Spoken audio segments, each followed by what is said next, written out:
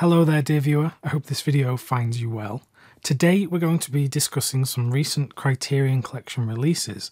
In particular, two box sets. I have the Chantal Akerman Masterpieces set and Eric Rohmer's Tales of the Four Seasons. These are both Region A Criterion releases, so in order to get them in the UK, you have to import them in some way.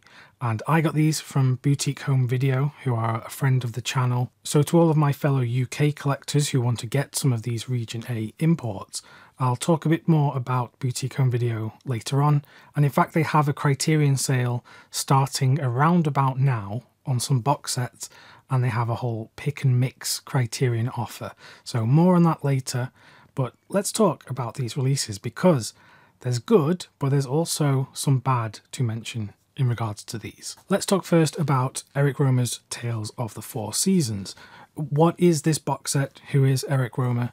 He was a figure in the French New Wave during the 1960s onwards, and he ended up having a very long career, an illustrious career. He was relevant well into the 90s, still making films, and this set is in fact a series of films from the 1990s. I'm no stranger to Eric Rohmer. Other works from him that I really like are the Six Moral Tales, which is also available from Criterion. And there is also this set. This is his Comedies and Proverbs set, which is available from Arrow. To sum up his style of filmmaking, he's very much looking at the relationships between people and how complicated relationships can be, whether that's romantic or friendship or familial. His films are very conversational and philosophical, which is quite common in French cinema. And his works are very much something I would recommend if you like films such as the Before trilogy from Richard Linklater. That sort of film where it's focused on central characters just talking and working through their relationships and their emotions. That is not to say that these films aren't visually stunning, they are often set in very interesting environments, whether that is urban or more rural or by the beach. Something I like about his films very much is even though they are philosophical and quite heavy sometimes in terms of the dialogue and what is being talked about, they are very accessible they are films that you can quite easily sit down and watch, and you don't feel like you're being lectured or you're learning some very complicated new subject. In that sense, his films are not academic, they are easy to watch, and I think this is all encapsulated in the Tales of the Four Seasons because he was making these later on in his career, and I think he was probably summing up all of his ideas in these films. And while I don't think all four of these films are on an equal level in terms of how much they affect me and how much I gain from them, but something like A Tale of Summer is absolutely up there with his best work.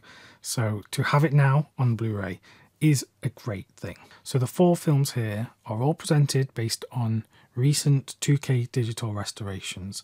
These were showing theatrically for about a year or two before we finally got this disc release. For the most part, these films look great. The restorations, they're great work. I honestly couldn't see many faults with the actual restoration work here. What is at fault here, unfortunately, is Criterion's disc themselves, the way that they have mastered the discs. That's the process of taking the digital film file and putting it on the disc so that it can be replicated and sold to us. That process has not been done perfectly, and the byproduct of this is in certain sequences in the film, particularly in bright skies or in darker corners of the screen, you start to see digital artifacts where there is macro blocking, which occurs when colours in the image sort of block together because they're very similar in tone. And it's kind of a shortcut for the digital compression needed to get the film onto a disc. If a disc has been authored well, this can be avoided and it's often picked up during quality testing before the films are actually released on disc. However, in this case, it hasn't been picked up and unfortunately, there is a lot of evidence of digital compression artifacts in the image. Most Blu ray labels will outsource the authoring and mastering process of their discs. Criterion use a company called NextSpec, who I don't know much about to be honest. But from what I've seen with their recent work, with Criterion, they aren't quite on the level of Fidelity in Motion, who seem to be, you know, the absolute best team in the business at doing that process. Something else that slipped through the quality control process on this release is that some of the special features are missing English subtitles. So the French language, unless you can speak French, you're not going to be able to understand. From what I've heard online, Criterion have recognized this issue with the subtitles and are putting in a disc replacement program service for this. Unfortunately, I don't think there are enough people complaining about Criterion's poor compression at times, so those issues aren't likely to be fixed, but do expect some replacement discs for this set in time. So anyway, I feel like I talked a lot about that, but it's important to know that kind of thing before you buy this. It's important to recognize where Criterion aren't necessarily doing things perfectly and I hope I don't have to state to you that I am a massive Criterion fan. When I mention this kind of issue, it is more out of frustration. It isn't that I hate Criterion or something, because clearly I have about 600 Criterion Blu-rays in my collection. Clearly I don't hate Criterion. But something I would strongly recommend to the team at Criterion if they ever watch this video is have a look at their disc authoring team and their process, because for quite a long time it just hasn't been perfect and you can see lots of issues in a lot of their releases. So beyond those compression issues and then the missing subtitles which is being remedied, it is a great release and just check out these films however you can, whether you get this Criterion Blu-ray set or you watch them on streaming or, or whatever. These films are excellent if you are in any way interested in French cinema. So I highly, highly recommend the films. Before I get into talking about the Chantal Akerman Masterpieces set, let me just quickly mention Boutique Home Video again, who I got these Blu-ray releases from. They are a great way of getting Criterion's Region A releases to the UK, including a lot of their 4K discs, which of course are region free. They have a wide selection of Criterion titles and other boutique labels, and at the moment they have a Criterion deal on on many box sets with reduced prices, and they have a pick and mix match offer. So if you add two certain titles to your basket, you get a reduction. So it's worth going to check out if there are any Criterion Region A titles that you want to get in the UK. I'll include links to all of that in the description of the video, so do go and check that out if you're interested. Now let's talk about the Chantal Akerman Masterpieces 1968 to 1978 set. As you would expect, this is a collection of the films from filmmaker Chantal Akerman, including her most famous work, Jeanne Dielman. I've forgotten the rest of the title. I actually have the old Blu-ray here, so let me give you the full title. Jeanne Dielman, 23, Quai du Commerce, 1080 Bruxelles. That was in my bad French accent, but yeah, long title for a long film. So within this set, you get many, many of the filmmaker's works, including her feature-length films and a lot of the short films that she made as well. To describe her filmmaking style, well, she was quite consistent throughout her work, and you see from some of the earliest films in this set that the themes remain throughout her filmography. These are films made from a feminine perspective. They are dealing with alienation, feeling imprisoned in daily life, the mundanity of it all, feeling quite apathetic to everyday life, and then looking at the response to that, often leading to some kind of violent outburst or some kind of message in that tone. Something that I can definitely say with confidence about her work is that it is singular in terms of vision. I do not mistake her work for any other filmmaker.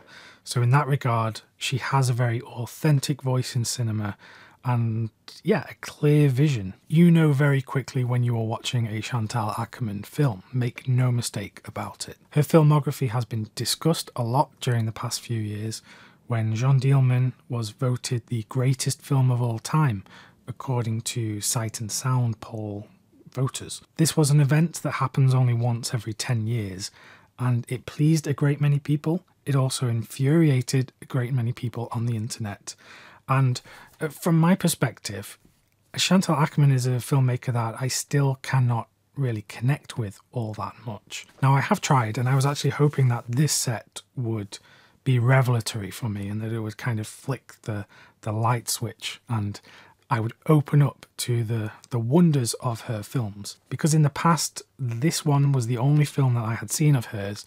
I'd seen it a few times and I just could never connect with it at all. If you haven't seen this film, it does very much deal with the mundane and the repetitions in daily life.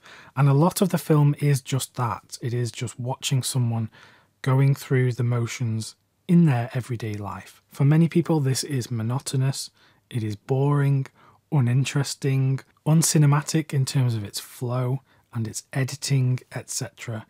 And uh, those are all quite valid points. And in fact, the people that do praise this film and Akerman's work will say that that's exactly the point. The film is highlighting these central issues by using all of what I've just mentioned as a technique to get the point across. The trouble is, up until now, I just haven't felt it.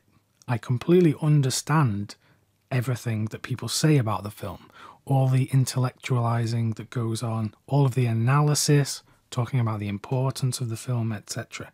I get all of that. It's just something that hasn't worked for me in terms of what I like in cinema. So, you know, I will keep these films around. I will keep revisiting them every now and again to just see if something connects, if that light switch gets flicked. But for now, you know, the films, they, they do just leave me a bit cold. But let's actually talk a bit about the set because you get three discs here which feature all of those feature films and the short films. The second disc in the set, which has Jeanne Dielman, is pretty much the same disc that is in the older release. It isn't a new restoration, so it's using the same source. So in that respect, if you have the older disc, you probably don't need to keep this around if you do get this set. You also get lots of special features and there is a booklet inside. So in terms of the package, it's very well put together, except for one issue, and it's that same issue rearing its ugly head that Criterion's authoring, the mastering process here, is just not great. In many instances, you do see compression artifacts, macro blocking. It just rears its ugly head when otherwise it would be a great presentation of these films. Again, this is not issues with the restorations. This is actually issues with how Criterion puts these discs together, or rather the authoring team that they work with, how they end up putting the disc together. It's a real shame because when you go to such lengths and effort to collect all of the materials, collect the films, the special features, create the lovely packaging, etc., to be let down in the final stage where you are mastering the disc, it's just something that I, I personally don't get, and I don't get how these issues are not picked up in quality control because they stick out like a sore thumb to me. And maybe that's just because I watch an insane amount of Blu rays. I've been looking for this kind of stuff for years and years, so it does stick out to me. But I notice it instantly. It could be that you watching this video don't notice these issues with the compression, for which I'm glad for you. I wish I was in that place where I could ignore them.